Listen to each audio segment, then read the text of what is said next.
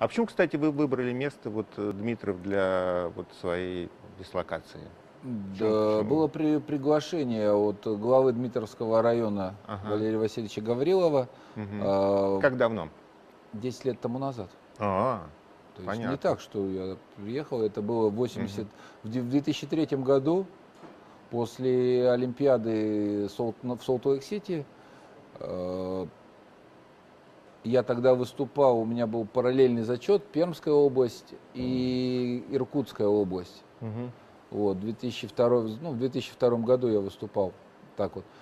А, поскольку у меня с Иркутской областью как бы так отношения ни шатка, ни валка были, Мгм. то есть они не выполняли определенные свои, э, как это называется, обязательства. обязательства, Ага. да, то при- параллельно я как бы начал поиск э, второго ну, области, края, который э, помог бы мне с э, жильем, Мгм. и чтобы я мог за него выступать. И Московская область на то время в Дмитрове есть школа санного спорта. Ага. Э, Планировалось э, строительство новой санно-бобслейной трассы в по Рамоново, это в Дмитровском районе.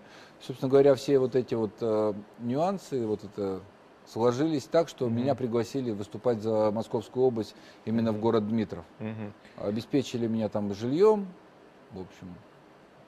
И я выступаю уже с Мгм. 2003 года за Дмитров. Не политкорректно, но без злого умысла. Иронично, но без сарказма. Пристрастно, но по-честному. Правда 24 и Евгений Додолев. С понедельника по четверг в 19.30 на телеканале Москва 24.